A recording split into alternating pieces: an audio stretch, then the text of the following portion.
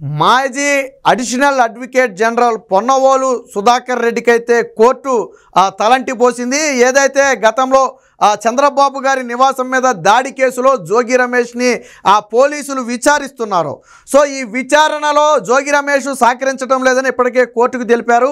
ఇదే సమయంలో జోగి రమేష్ అడిగిన ప్రశ్నలకు పొన్నవోలు సుధాకర్ రెడ్డి సమాధానం చెబుతున్నారంటూ ఎవరైతే ప్రభుత్వ తరపు లాయర్లు ఉన్నారో బలంగా వాదనలు వినిపించారు. దానికి సంబంధించిన వీడియో ఫుటేజ్ను కూడా కోర్టుకు సమర్పించడం జరిగింది. అంటే ఇది మొత్తం కూడా వీడియో రికార్డింగ్లో జరుగుతున్న నేపథ్యంలో ఎవరైతే పోలీసులు ఇన్వెస్టిగేషన్ అధికారులు అడుగుతున్నటువంటి ప్రశ్నలకు సమాధానం జోగి రమేష్ చెప్పాలి. అది అవునా కాదా అనేది పక్కన పెడితే ఆ పూర్తిగా ఒప్పుకోవడం ఒప్పుకోకపోవడం జోగి రమేష్ ఇష్టం. బట్ సమాధానం అనేది జోగి రమేష్ నోటి నుంచే రావాలి. కానీ జోగి రమేష్ మౌనం దాల్చితే పక్కనే ఉన్నటువంటి పొన్నవోలు సుధాకర్ రెడ్డి దీనికి సమాధానాలు ఇచ్చే ప్రయత్నం చేయడం అనేది పూర్తిగా పోలీసులు ఇన్వెస్టిగేషన్ అధికారులు అయితే తీవ్రంగా అభ్యంతరం వ్యక్తం చేశారు. ఇదే విషయాన్ని కోర్టు దృష్టికి కూడా తీసుకెళ్తే కోర్టు కూడా ఆశ్చర్యం వ్యక్తం చేసింది. అసలు ఆ వ్యక్తిని ప్రశ్నలు అడిగితే మీరు సమాధానం చెప్పడం ఏంటి? అవసరమైన డాక్యుమెంట్లు ఇవ్వటం వరకు మాత్రమే మీ పని. అడిగిన ప్రశ్నలకు సమాధానం చెప్పటం మీ పని కాదు. మీరు అక్కడున్నది కేవలం సంబంధిత డాక్యుమెంట్లు సంప ఇవ్వటానికి మాత్రమే. మరి అలాంటప్పుడు మీరెందుకు జోక్యం చేసుకుని మాట్లాడుతున్నారని చెప్పి పొన్నవాళ్ళు సుధాకర్ రెడ్డి మీద అయితే కోర్టు ఆ, అసహనం అయితే వ్యక్తం చేసింది. ఇక ఇక ముందు జరగబోయే ఆ ఇన్వెస్టిగేషన్లో ఎట్టి పరిస్థితుల్లో మీ పాత్ర ఉండకూడదని చెప్పి ఆ కోర్టు కూడా తేల్చి చెప్పడం జరిగింది. ఒక రకంగా ఏంటంటే పొన్నవాళ్ళు సుధాకర్ రెడ్డి కూడా ఆ విచిత్రమైన వాదనను కోర్టు ముందుకు తీసుకొచ్చాడు. ఏమని? ఆ, మా క్లయింట్ సహకరించడం లేదు సహకరించడం లేదని వీళ్ళు కోర్టుకు చెబుతున్నారు. ఆ సహకరించడం అంటే ఏంటో నాకు తెలియటం లేదు.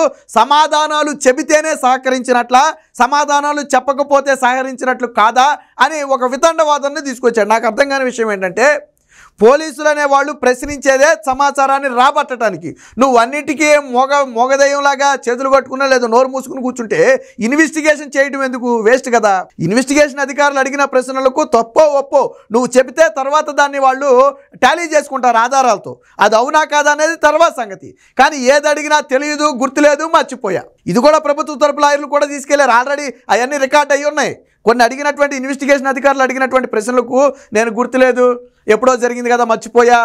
నాకు తెలియదు ఇలాంటి సమాధానాలు చెప్పారు పలు కీలకమైనటువంటి ప్రశ్నలకు. సో ఈ మొత్తం ఫుటేజ్ను కూడా హైకోర్టుకి సమర్పిస్తే హైకోర్టు మొత్తాన్ని కూడా పరిశీలించి మొత్తానికి ఆ విచారణకైతే సహకరించడం లేదనే విషయాన్ని అయితే ఒక కొలిక్కైతే వచ్చింది. ఆ తదుపరి ఏదైతే తీర్పు అనేది ఏదైతే ఉందో దీన్ని సెప్టెంబర్ మూడుకైతే వాయిదా వేయడం జరిగింది. కానీ విచారణలో ఆ పొన్నవోలు సుధాకర్ రెడ్డి ఎట్టి పరిస్థితుల్లో జోక్యం చేసుకోకూడదని చెప్పింది. ఇంకోటి కూడా చెప్పింది. ఒకవేళ వారిని అడిగే ప్రశ్నలకు ఆ లాయర్ జోక్యం చేసుకోవటం అంటే విచారణను ఒక రకంగా అడ్డుకోవటమే.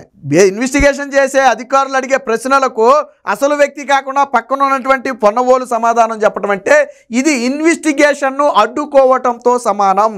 ఇన్వెస్టిగేషన్ ముందుకు సాగకుండా అడ్డుకోవటం అనేది ఖచ్చితంగా తీవ్రంగా ఖండించదగినటువంటి విషయం.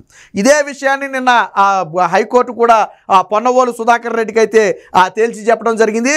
విచారణలో ఎట్టి పరిస్థితుల్లో కూడా పొన్నవోలు జోక్యం ఉండకూడదని చెప్పింది. ఒకవేళ మళ్ళీగానే ఇదే రిపీట్ అయిందనుకోండి పూర్తిగా పొన్నవోల్ని దూరంగా పెట్టమని చెప్తారు. అప్పుడు సరిపోద్ది. వాస్తవానికి ఎందుకు లాయర్ని పక్కన పెట్టుకుంటారు అంటే ఇందాకే కోర్టు చెప్పినట్టుగా అవసరమైనటువంటి డాక్యుమెంట్స్ ఇవ్వాలి. ఎందుకంటే ఇన్వెస్టిగేషన్ అధికారులు కొన్ని డాక్యుమెంట్స్ అడుగుతారు. గతంలో మీరు చేసినటువంటి దాడులకు సంబంధించి కానివ్వండి లేదా వాళ్ళు చెబుతున్నటువంటి దానికి సంబంధించిన ఆధారాలు కానివ్వండి అడుగుతారు. సో అవన్నీ కూడా ఇవ్వటంతో పాటు ఆ లీగల్గా ఇబ్బంది పడకుండా ఒక రకంగా ఏంటంటే ధైర్యం ఉండటం కోసం ఆ లాయర్ అనే వ్యక్తి పక్కన ఉంటాడు. అంతేగాని ఈయన అడిగిన ప్రశ్నలకు లాయర్ సమాధానం చెప్పడం కాదు. వాస్తవానికి ఆ లాయర్లకి సమాధానాలతో సంబంధమే లేదు. లాయర్లకి సమాధానాలతో సంబంధమే లేదు. కేవలం అడిగిన డాక్యుమెంట్స్ మాత్రమే సబ్మిట్ చేయాలి? దానికి మాత్రమే. లేదా అదనంగా ఏదైనా అడగాల్సి వస్తే లీగల్గా ఏదైనా ఆ ప్రశ్నించిన సమయంలో అవసరమైతే జోక్యం చేసుకోవచ్చు తప్ప మిగతా విషయాల్లో జోక్యం చేసుకోవడం కుదరదు. నువ్వెందుకు దాడి చేసావయ్యా అని జోగి రమేష్ని అడిగితే ఆయన దాడి చేయలేదని చెప్పి ఈయన సమాధానం చెప్తాడు. దాడి చేయలేదంటే పదిహేను ఇరవై కిలోమీటర్ల పాటు మంది మార్బలాన్ని వేసుకెళ్ళిపోయి కార్లు వేసుకెళ్ళిపోయి ఆ రోజు దాడి చేసింది వాస్తవం కదా? అదంతా వీడియో ఫుటేజ్లు లేవా? చంద్రబాబు గారింటి సీసీటీవీలో మొత్తం రికార్డ్ అవ్వలేదా? అయినాయి కదా జోగి రమేష్ అందరూ స్పష్టంగా కనపడ్డాడు కదా. సరే అవన్నీ చేసినందుకే కదా మంత్రి పదవి వచ్చిన తర్వాత. కాబట్టి ఇదంతా కూడా తెలుసు. బట్ కోర్టు మాత్రం ఆ పొన్నవోలు సుధాకర్ రెడ్డి వ్యవహారాన్ని అయితే కోర్టు తీవ్రంగానే ఖండించింది. ఎట్టి పరిస్థితుల్లో ఆ పొన్నవోలు జోక్యాన్ని అయితే ఆమోదించబోమని చెప్పింది. దీనికి సంబంధించిన వార్త కూడా వచ్చింది. ఒకసారి చూద్దాం. సో ఇక్కడ చూడండి కోర్టు నిన్న చేసినటువంటి వ్యాఖ్యలు నిందితుడిని అడిగితే మీరెలా జవాబిస్తారు? అవసరమైన డాక్యుమెంట్లు ఇవ్వటం వరకు మాత్రమే మీ పాత్ర. జోగి రమేష్ పిటిషన్ విచారణలో పొన్నవోలుకు హైకోర్టు ప్రశ్నలు. ముందస్తు బెయిల్ పిటిషన్పై ముగిసిన వాదనలు ఆ తీర్పు సెప్టెంబర్ మూడున వెల్లడిస్తామన్న న్యాయమూర్తి. సో దర్యాప్తు అధికారి ప్రశ్నలకు నిందితులతో పాటు వెళ్ళిన న్యాయవాది ఎలా సమాధానం చెబుతారని జోగి రమేష్ తరపు జోగి తరపున సీనియర్ న్యాయవాది పొన్నవోలు సుధాకర్ రెడ్డిని హైకోర్టు ప్రశ్నించింది. ప్రశ్నలు విని అవసరమైన డాక్యుమెంట్లు అందచేయడం వరకు మాత్రమే ఆ న్యాయవాది పాత్ర ఉండాలని పేర్కొంది. నిందితుడి ప్రశ్నిస్తుంటే న్యాయవాది సమాధానం చెప్పడంపై ప్రాసిక్యూషన్ను అభ్యంతరం తెలుపుతున్నారని గుర్తు చేసింది. సో నిన్న ఇందాకే చెప్పా. ప్రాసిక్యూషన్ను అడ్డుకోవటం మాత్రమే అదే సమయంలో కోర్టు కూడా మేము దీన్ని తీవ్రంగా ఖండిస్తున్నాం. కేవలం మీరు డాక్యుమెంట్లు సమర్పించడం మాత్రమే మీ పని. అడిగిన ప్రశ్నలకు సమాధానం చెప్పాల్సింది నిందితులు. కానీ నిందితులతో సహాయం కోసం వెళ్ళినటువంటి లాయర్ కాదు అక్కడ ప్రశ్నలు చెప్పడం కుదరదు. ఆ సమాధానాలు చెప్పడం కుదరదని చెప్పి ఆ కోర్టు అయితే చాలా స్పష్టంగా చెప్పింది.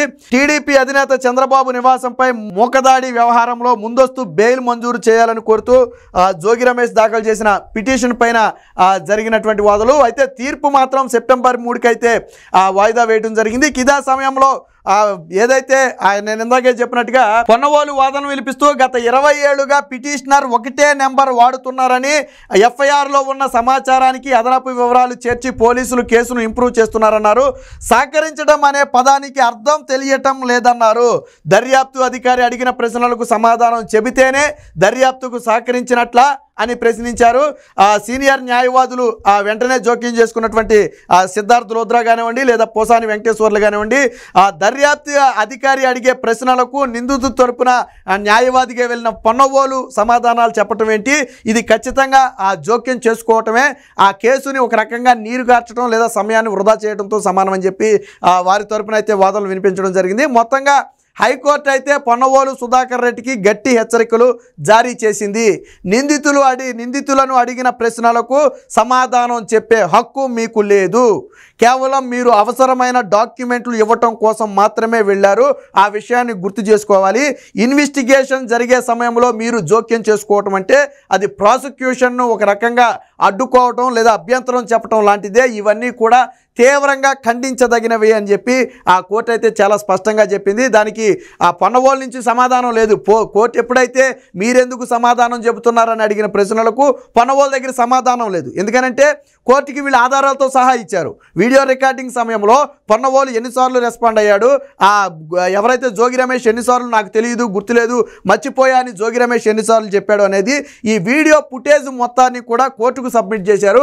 సో నేను చెప్పలేదు అంటాం కూడా కుదరదు పొన్నవోలు నేను మాట్లాడలేదని తప్పించుకోవచ్చు. అదే రికార్డింగ్ లేదనుకోండి నేను మాట్లాడలేదు పోలీసులు అబద్ధం చెప్తున్నారు అనొచ్చు.